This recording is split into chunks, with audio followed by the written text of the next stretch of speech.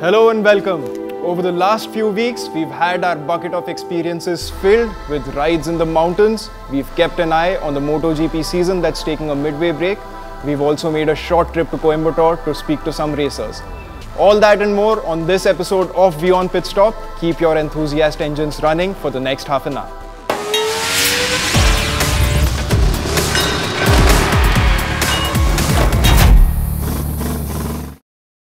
But before all that, there was a whole lot of action from the world of launches, hot new vehicles headed your way. Here's the download on all of that in our first segment, Power Bulletin.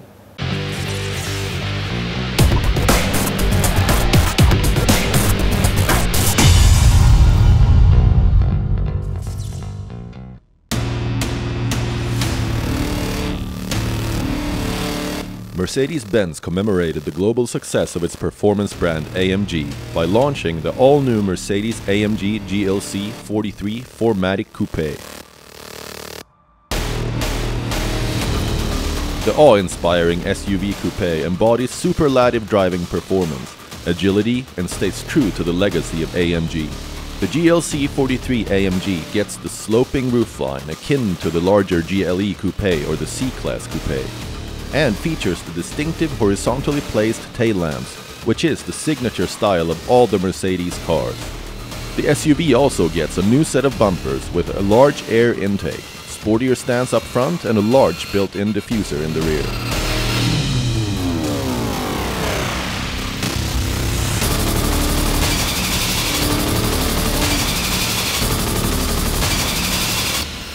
The SUV is powered by a 3-liter bi-turbo V6 engine that makes 362 bhp of peak power and 520 Nm of torque. The top speed is electronically limited up to 250 km per hour.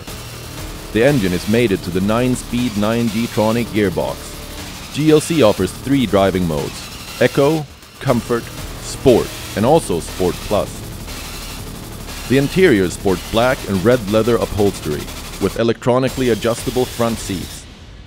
Other equipment highlights are the Command online infotainment system with 8.4-inch display, ambient lighting, thermatic automatic climate control, and 360-degree parking camera.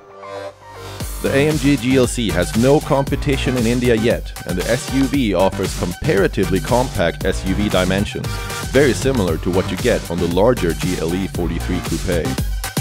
You can own the newly launched Mercedes SUV at a price of 74.8 lakh Indian rupees.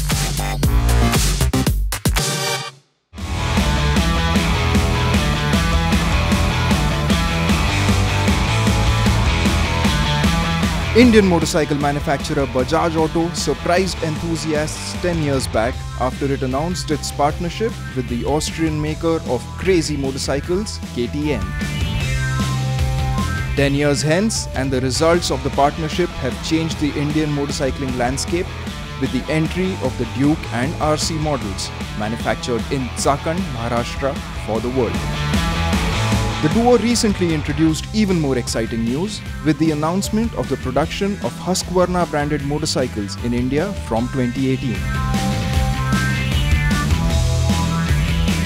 KTM had acquired the Scandinavian brand known for its motocross heritage and unique design ideas way back in 2013 from Bavarian bike maker BMW. Ready in the works are the Vitpilen 401, Svartpilen 401 and Vitpilen 701 models based on existing KTM platforms. The initial lots of the motorcycles will be built in Austria, but production of the 401 models is expected to be moved to the Chakan factory in India in 2018. The two 401 motorcycles are based on KTM's 390 platform, which are already being made in India and exported around the world. The Vitpilen 401, Swedish for white arrow, and the Svartpilen 401, meaning black arrow, have been developed as suave, chic motorcycles and seem to be a good exercise in platform sharing, with vastly differing appeals from KTM's Duke range, also meant for the streets. Production in India almost guarantees that the motorcycles will go on sale locally next year, and that's great news for enthusiasts.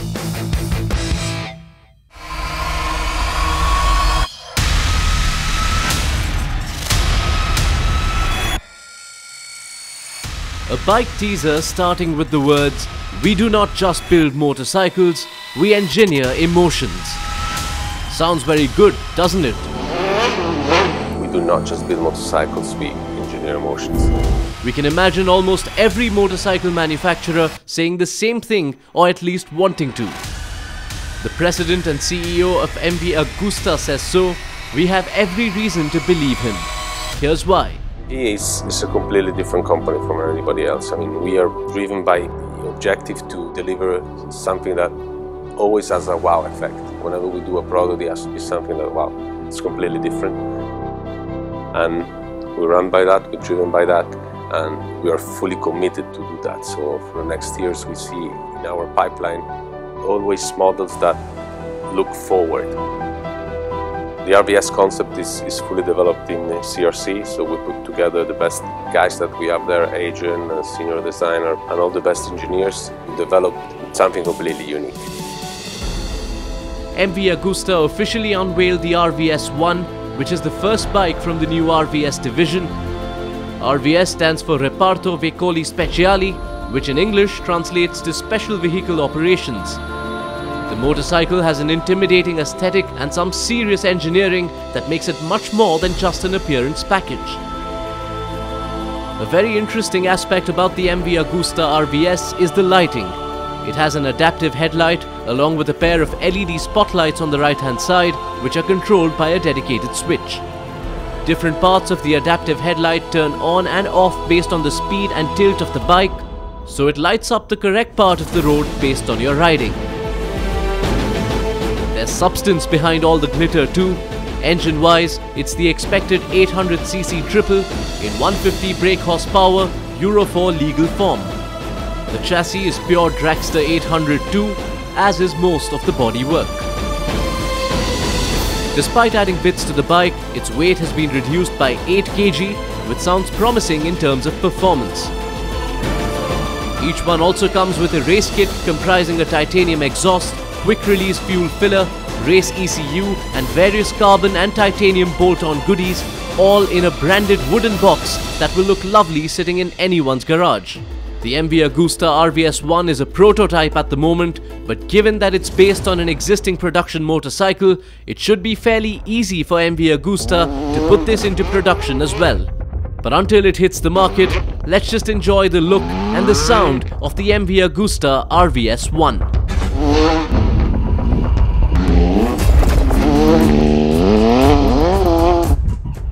There's even more action from the world of automobiles on the other side. We're slipping into a quick commercial break. Join us there.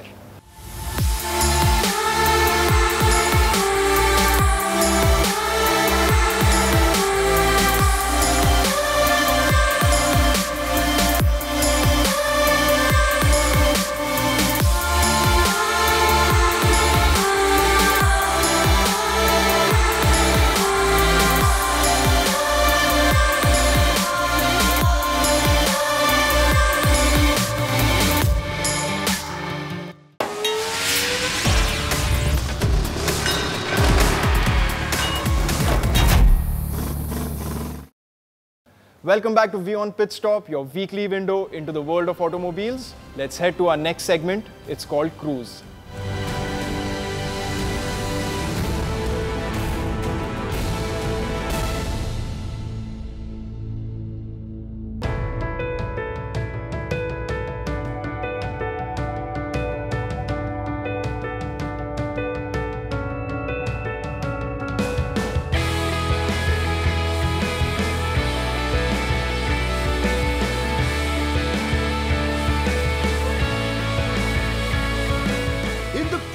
Edition of WION Pit Stop, we gave you an insight into one of the most extreme motorcycle rides known to humankind, the Himalayan Odyssey.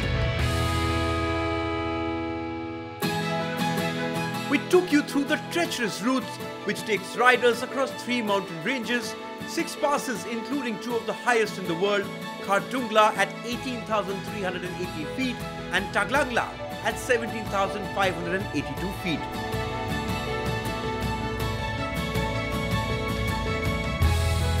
We we discuss the importance of mental and physical fitness and why being one with the motorcycle is so important before a trip like Odyssey.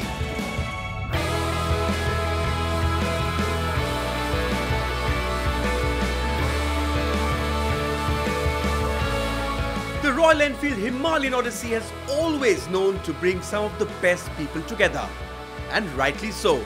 And this week, we bring you inspiring stories of such people who have managed to break stereotypes. People who have fought their own battles to reach where they have today.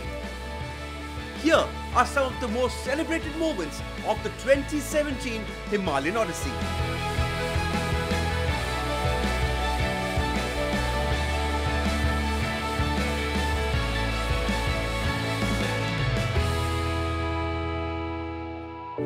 Usually, the first two days of the Himalayan Odyssey are not the most interesting ones. The bikers start off from Delhi and they ride till Chandigarh. The highways are mostly good, open, wide roads. And boy, the bikers who swear by the tough riding regime of the Enfield aren't really a fan of the first two days. The beauty uh, ahead of this, uh, once you reach Kulu or probably further on Kulu or when you're approaching Manali and the old Manali scenes uh, are like really to look forward to. So I think uh, everyone is quite excited and uh, the hardship is over. So Delhi, Chandigarh, Chandigarh, Manali, the heat and the traffic. So hardships are over. Now it's just something to look forward to. So we all excited. Uh, Himalayan Odyssey 2017, Royal Enfield. Cheers. As put by Rajat, the real fun or so to say, the real Odyssey starts from Chandigarh. The distance from Chandigarh to Manali is around 310 kilometers, and the route offers a good mix of clean road and off-roading. The ride emphasizes on harmony with the terrain while at the same time encouraging one to overcome their personal barriers and realize the potential that lies within them.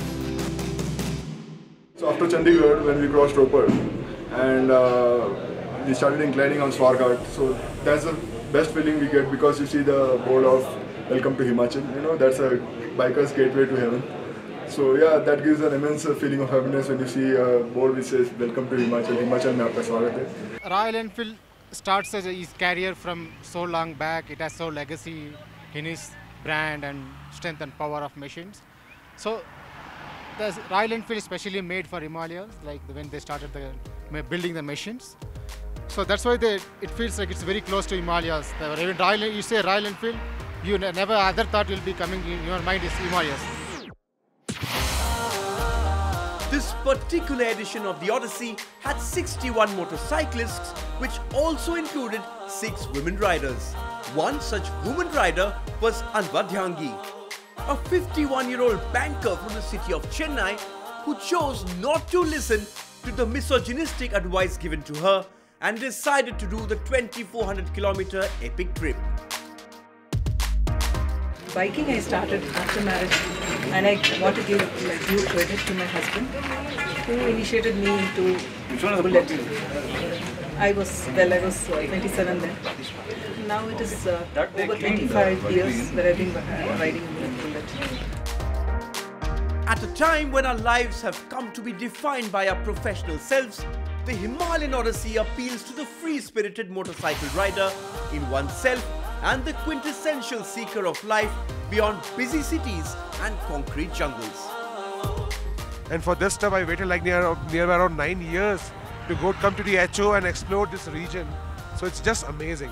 I, I used to think I'm a more of a long rider, but I discovered with this Odyssey that I'm more of a off-track guy, you know, so more of off-roading and stuff like that. So that is a new evolution in me, which I just discovered. So that was really nice. Before the Triumph or the Benelli or the Harley came into existence in India.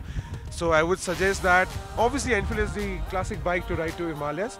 And regarding the brotherhood, if you ask me, then I would say you get to know new people from different scenarios, you know, and it's good to explore with them, make friends, and enjoy the ride, and be a friend for lifetime. And maybe, like as we know that uh, we can ride for HO only once in lifetime, so maybe next time we all can get together and ride again with ourselves. Yeah. Cool, cool, cool.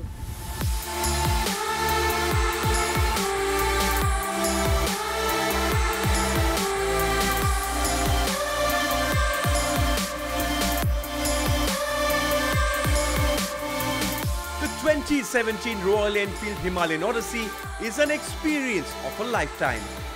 We all dream of life experiences that we would wish to have, worthy of being told and shared, and a chance to live them out to our utter contentment. There is never anything better than living life on your own terms. Doing what you love and pushing the extremes of discovery. Live it, relive it, love each moment. But that should never be the end. It should always be the beginning of the next. There's always more to life than this.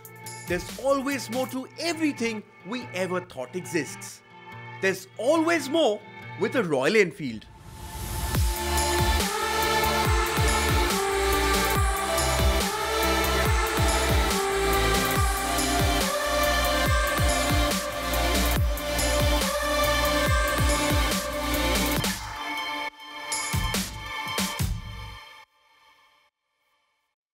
We're going to have to slip into a quick commercial break. We'll be back before you know it. Stay with us.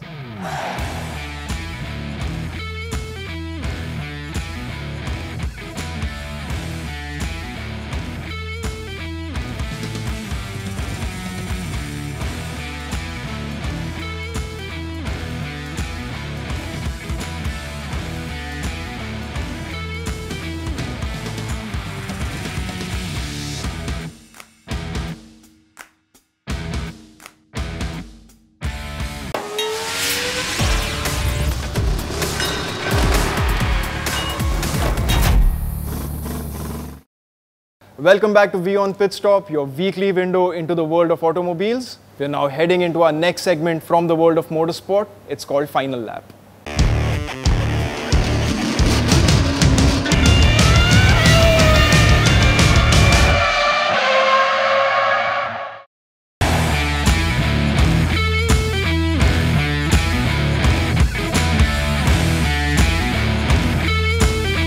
The 2017 MotoGP season has reached its midway point and the first half as of yet has proved to be an absolutely cracking setup for the season. The outstanding aspect from the sports point of view has been the utter lack of domination any team or rider has been able to exhibit. Unlikely heroes, gutsy performances, tempers, tantrums and all the drama Here's us looking back at the season thus far and getting to the top stories that have emerged as of now, on and off the track, on and between race weekends. The top two riders in the championship as of now are separated by just 5 points. Maverick Vinales and Marc Marquez have shared alternating fortunes through the 9 races thus far, which has resulted in no clear lead for either rider. Both young and both ultra talented, the fight between Marc Marquez and Maverick Vinales was supposed to be square this season. And while the points tally says exactly that, the two have not finished together on the podium yet. In fact, the two haven't even shared a decent scuffle in a race this season. Marquez entered the season as the reigning world champ, Vinales with tons of promise after his podium performances on the Suzuki machine last season. With what arguably is the best bike on the grid this season, Vinales took the season opener at Qatar by storm, establishing his stake to the championship. Both riders have had victories, podiums and forgettable results to this point. And it will be a question of which rider remains composed to the end of the season that may decide the outcome of this wafer thin margin.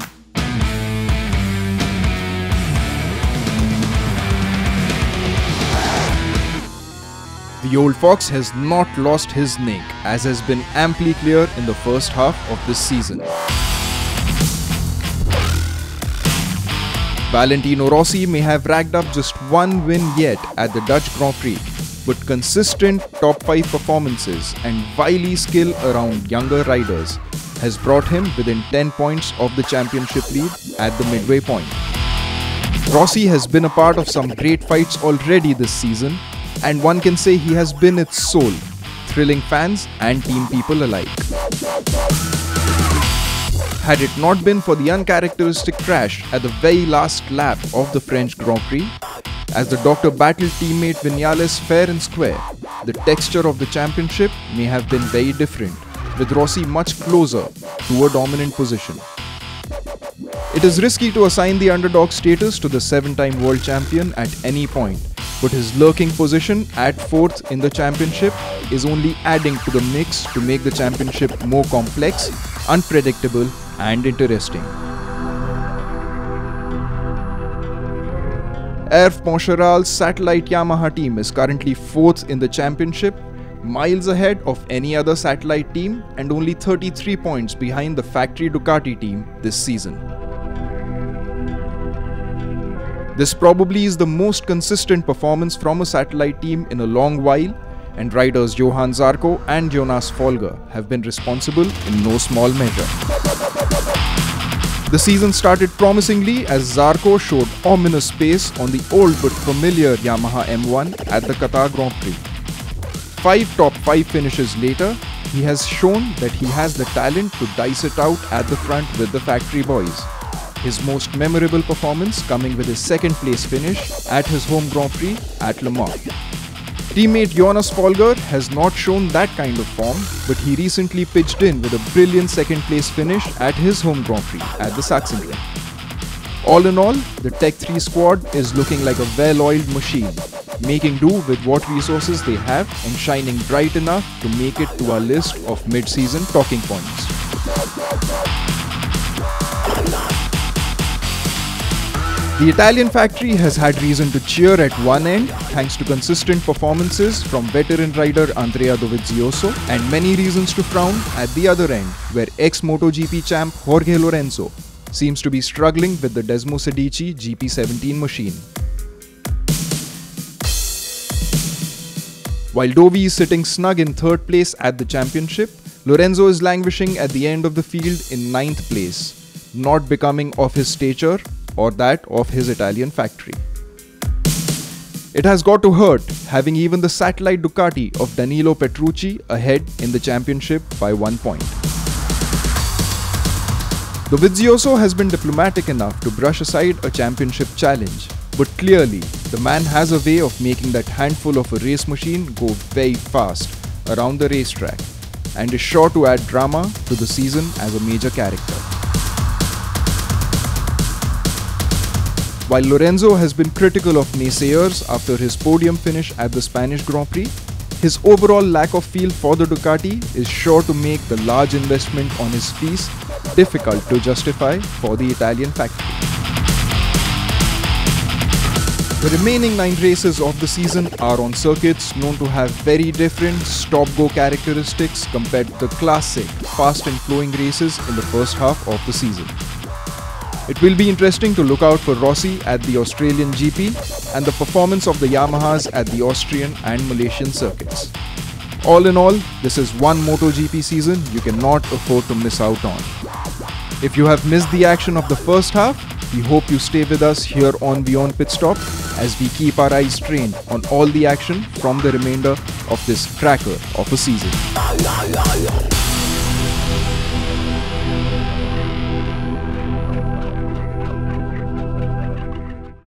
That's all we have for you on this week's episode of WION Pit Stop. Our show is changing form. If you like it or dislike it, please let us know on these social media platforms or we'd love to hear from you on email. This is your host Sopan Sharma signing off. I'll see you in seven days' time. Until then, keep those engines running.